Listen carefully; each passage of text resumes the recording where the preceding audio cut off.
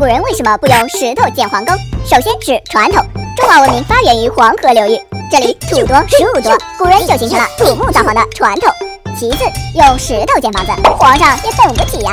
皇上建凡尔赛宫用了八十六年，建巴黎圣母院用了一百八十多年。呃，皇上，嗯，用石头建皇宫只要两千年，我考虑下，怎么打死你啊？而且石头不好加工，成本还高。朱棣建紫禁城，仅仅一块云龙阶石就有两百吨重，这么重，需要两万人、一千头骡子，用上一个月才能运到北京。